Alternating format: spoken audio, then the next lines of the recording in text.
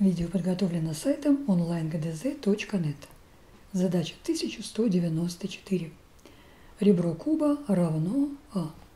И нам нужно найти диагональ куба.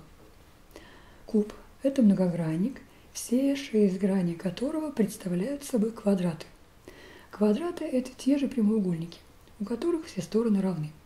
Таким образом, куб – это прямоугольный параллелепипед.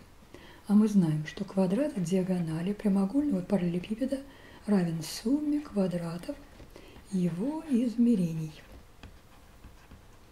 Тогда диагональ куба будет равна корню квадратному из суммы квадратов измерений куба. Каждое измерение куба равно а. Значит, а квадрат плюс а квадрат и плюс а квадрат. Итого 3 а в квадрате. Это будет равно. А квадрат можно извлечь корень, вынесем а из-под знака корня, под корнем останется 3. Таким образом, диагональ куба равна а корней из трех.